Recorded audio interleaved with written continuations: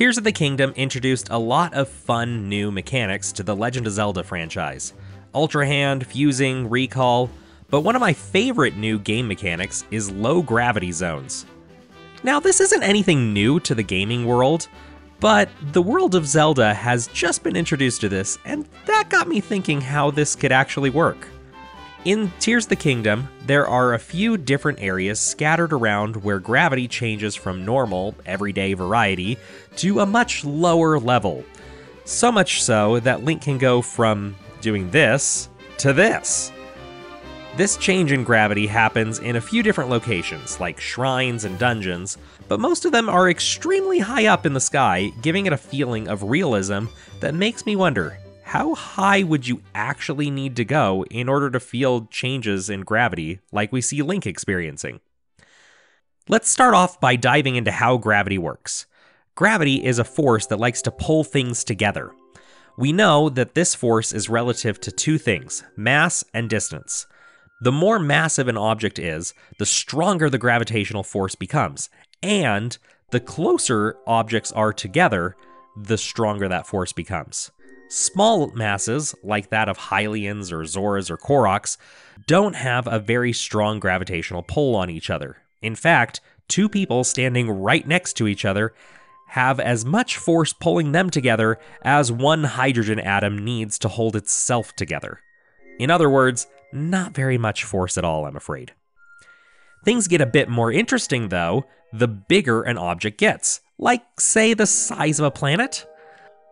Earth has a mass of 6.5 sextillion tons, which results in an average surface gravity of around 9.8 meters per second squared. We call this 1g.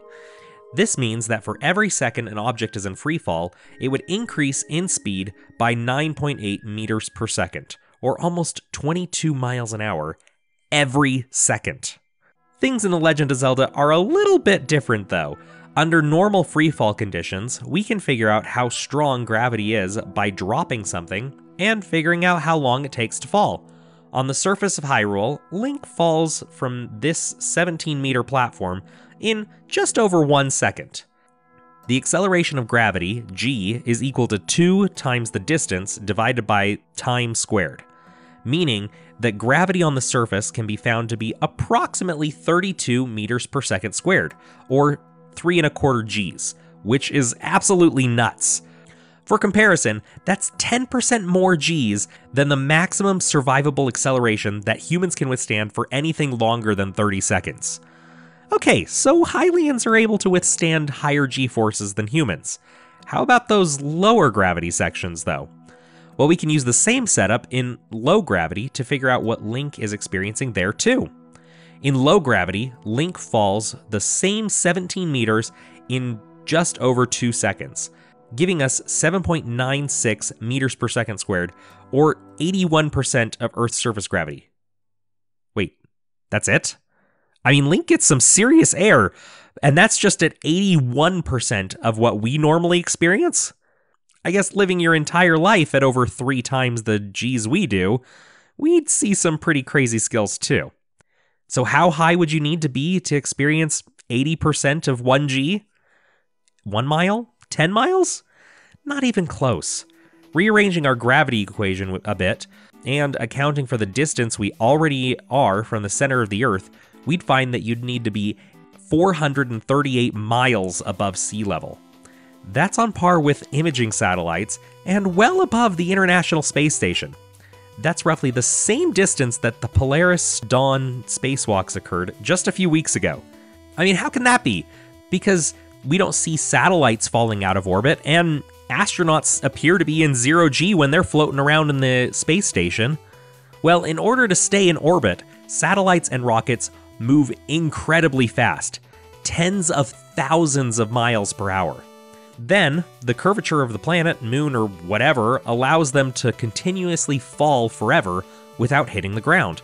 So, relative to their path, things appear weightless. If you just appeared at that height without the necessary speed to stay in orbit, you'd fall at pretty close to the same rate you would here on the ground, and then burn up in the atmosphere a few minutes later. But what if we wanted to have the same change in athletic performance that Link experiences in low gravity? How many G's would that look like for us? Well, Link experiences a 75% reduction in gravity. So, if we use that same rate of reduction, we would need to experience an environment with less than 2.5 meters per second squared, or about a quarter G. If you wanted to experience this gravity for yourself just running around on something, you could always go to one of the other objects in our solar system. But since Mercury has a little bit more surface gravity than that, and the moon has a little bit less, you'd find it hard to get much closer than that in our solar system. Neither one of these has an atmosphere, though, so I'd probably choose the moon since the added weight of a spacesuit and carrying around your own oxygen would increase your overall weight significantly. But you'd still might be able to get a few gains over your Earthbound companions. No matter what, though, Link would still have you beat as Hyrule's gravitational champion. Anyway, thanks for sticking around. I know that there's another Zelda game that just came out, but I've been meaning to explore some of the science behind Tears of the Kingdom. It's been a blast coming up with these videos, and I'm glad that you're enjoying them. Remember, leave a comment about anything you'd like me to look into. I look forward to exploring more science in and around video games with you guys. If you enjoyed this, be sure to subscribe or share this video with others. It really does mean a lot. Until next time, though, Thanks for sticking around, and we'll see you later. Tchau!